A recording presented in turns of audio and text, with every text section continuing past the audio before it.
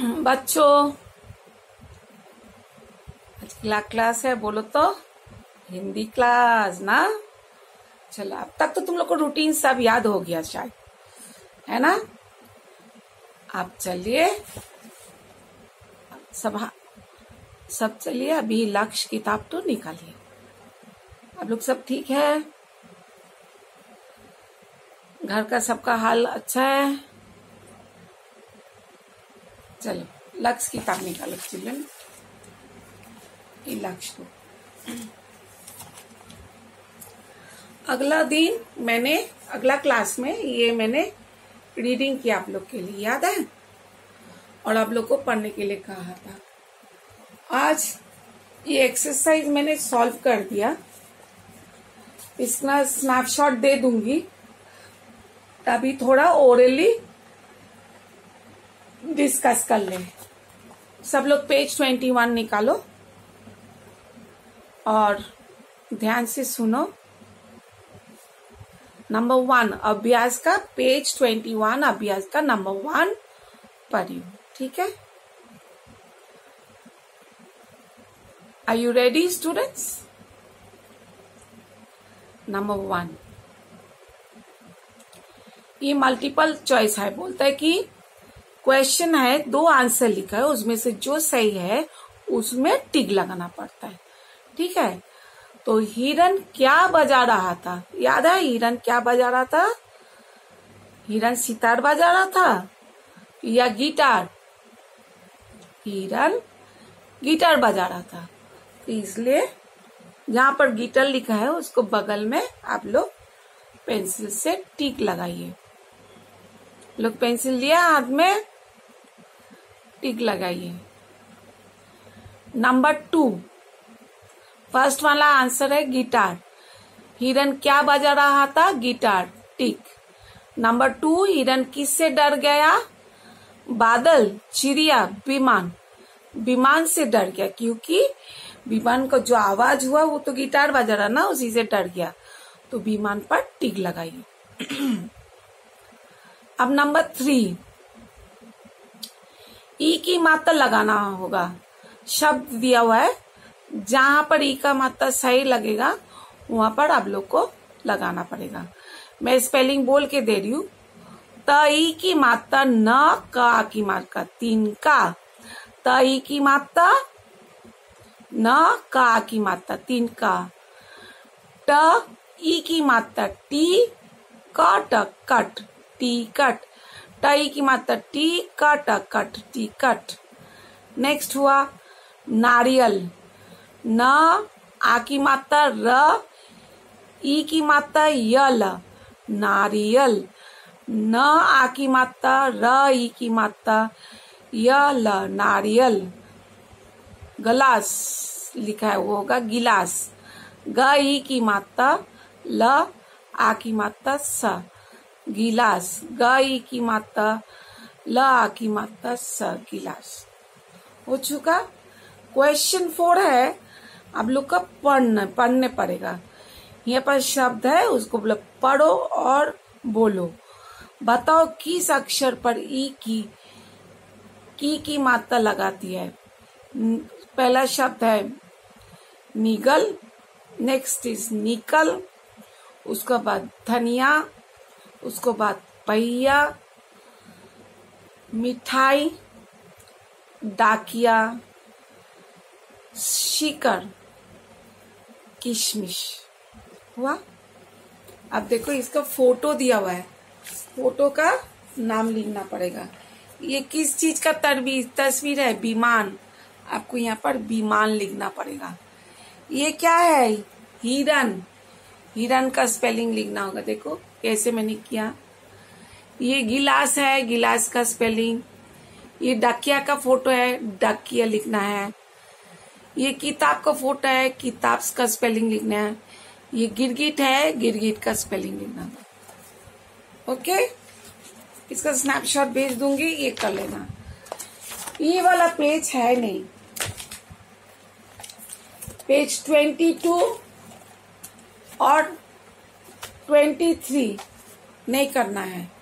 Page twenty two और twenty three नहीं करना है। हिंदी में page twenty two twenty three नहीं करना है। चलो, आज बड़ी की मात्रा, बड़ी की मात्रा। किताब निकालिए, शब्द बोलिए, मेरा साथ।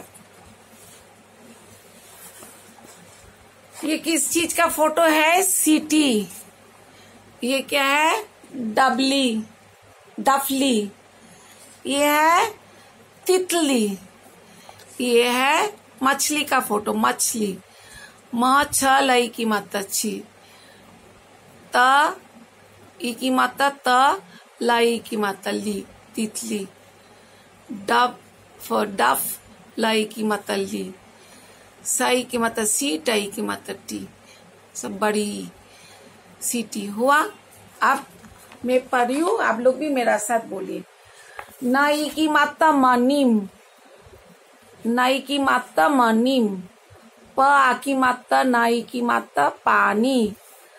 चई की माता, नाई की माता चीनी। गई की माता त गीत गई की माता, लई की माता गीली। पई की माता, लई की माता पीली। थ आ की मात्रा ल ई की मात्रा थाली म आ की मात्रा ल ई की मात्रा माली म ई की मात्रा ट ई की मात्रा मिट्टी श आ की मात्रा द ई की मात्रा शादी ह आ की मात्रा थ ई की मात्रा हाथी न ई की मात्रा ल ई की मात्रा नीली प र की मात्रा परी च आ की मात्रा ब की मात्रा चाबी क आ की मात्रा क की मात्रा काकी ग आ की मात्रा र की मात्रा गाड़ी च च आ की मात्रा चा चा की मात्रा ची, चाची स ई की मात्रा सी, रा। ई की मात्रा री सीरी स आ की मात्रा र ई की मात्रा री सीरी ल ई की मात्रा च ई की मात्रा ची लीची ये सब बड़ी ही है, ठीक है? अब नीचे कॉलम ये वाला। ये वाला पढ़ी हूँ। द ई की मात्रा प का दीपक। अस अस, ल ई की मात्रा ली, असली। ब ई की मात्रा बी, ज, ल ई की मात्रा ली, बीच, ली। ख, भ ई की मात्रा ख।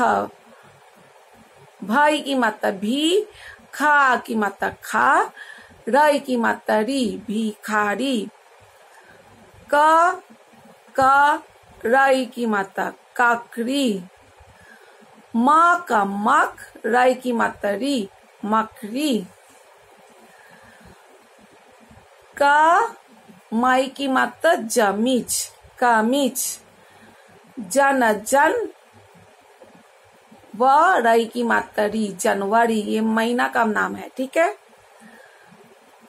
फरवरी फर फर व र ई की मात्रा री, फरवरी। द की मात्रा दी पा की मात्रा पा लई की मात्रा ली दीपाली ई ला की मात्रा ला या चई की मात्रा ची इलायची नम नम कई की मात्रा नकीन नमकीन अब ये पेज से मैंने अंडरलाइन कर दूँगी स्नैपशॉट दूँगी अंडरलाइन कर दूँगी। वही स्पेलिंग याद करना नेक्स्ट क्लास के लिए। ठीक है बच्चों? आज ये वाला पढ़ाऊँगी। ये स्पेलिंग में अंडरलाइन कर दूँगी। वही वही स्पेलिंग याद करना, ठीक है? नेक्स्ट क्लास के लिए। आज ये स्टोरी तो पढ़ियो मेरा साथ बोलिए। माली। चैप्टर माली। स्टोरी का नाम है माली। गर्मी का दिन था। मदन काम कर कर रहा था। मदन काम कर रहा था। उसकी कमीज गीली थी। तो कैसे दिन था बच्चों? ये बहुत ही गर्मी का दिन था। और कौन काम कर रहा था? वो इंसान का नाम क्या था?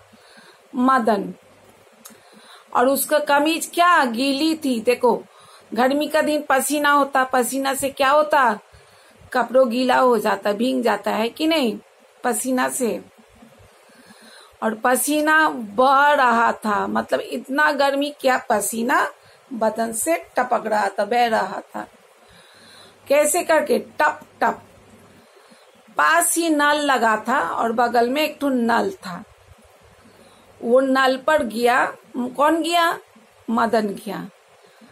पानी पिया, नहाया, आराम किया, फिर आकर लीची, पपीता तथा नाशपति खाई। तो इस स्टोरी में क्या बोलना बहुत ही गर्मी का दिन है और इंसान का नाम क्या है? मदन। वो बगीचा में काम कर रहा था और गर्मी में बहुत ही गर्मी हो रहा था। उसको पसीना टप टप करके गिर रहा था। और वो क्या करेगा? बगल में एक तो नल था।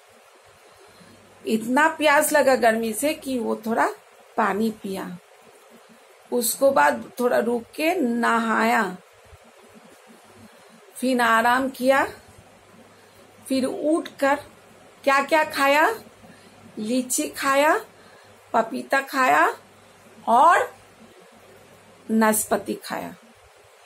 लीची खाया, पपीता खाया और नाशपति यह आपको ये भी रीडिंग पढ़ लेना।